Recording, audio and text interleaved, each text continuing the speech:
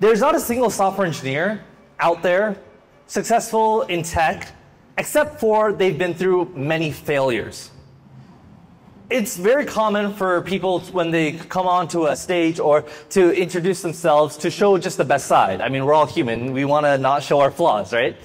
But I think sometimes for us to relate a little bit, we need to understand the flaws of people. And I always try to tell people that I don't know what you guys think of me, but I am not this computer science prodigy. I'm not an expert by no means. I've had my own fair share of failures. For example, one story I often bring up is uh, one time I had an interview with this company, Chick fil A. They asked me, uh, the first round interview, oh, reverse a linked list or reverse a string. A very, very simple question that you, you guys probably solve very easily. So I solved that. Round two is where the tricks came in, or so I thought. They asked me, so when you type google.com in a browser, what happens? And um, back then, I, I, didn't really know anything about like how the internet works. So I was literally like, oh, it accesses your Wi-Fi, you know, it gives you the results. And they're like, so what actually happens?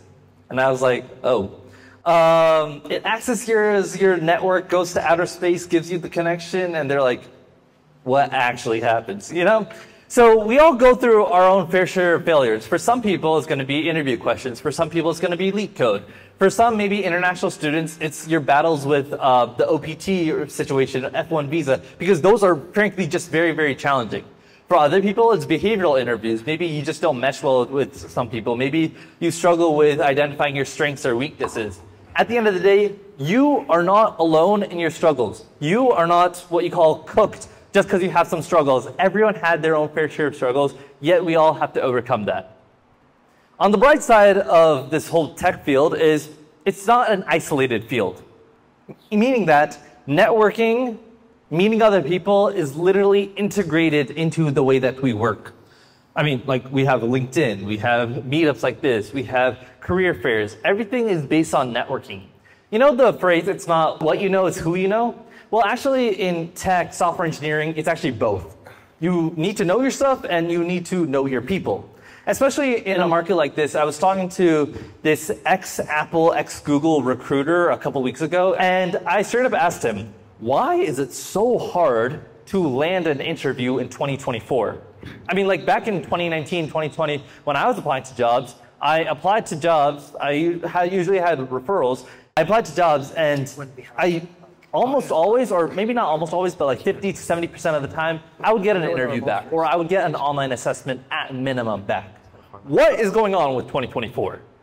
And then he straight up told me, AI, AI.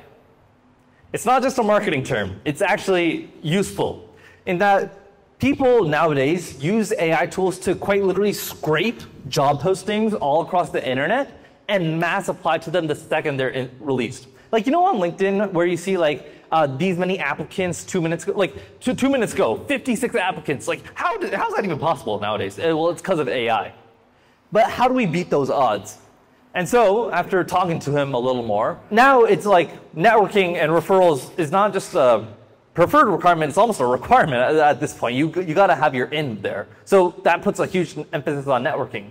But a step beyond that is Whatever projects that you guys are doing, the cool coding projects you're doing, the awesome master's projects that you guys are doing as part of your degree, post those on LinkedIn such that you gain traction and you prove that you are qualified in the skills that you are, and then recruiters will start reaching out to you. Last week, I interviewed someone in New York, uh, this uh, senior product or senior technical manager at this one startup. And he said, every single job that he's had so far has been someone reaching out to him via Twitter because he posts so much on Twitter about the projects that he's working on. Because why do you have to sell yourself if you just show everything that you're doing? Like, what's the point of doing a technical interview if I know exactly what you're doing and that you're a qualified candidate based off the posts that you're making? And so, my encouragement to you all, whatever project that you're doing, just share it to the world. LinkedIn, Twitter, honestly, I was surprised to see Twitter is actually a big thing in the whole like tech startup space, especially. So you guys should take advantage of that.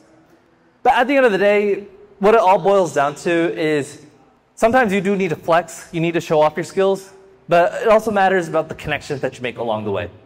Thank you.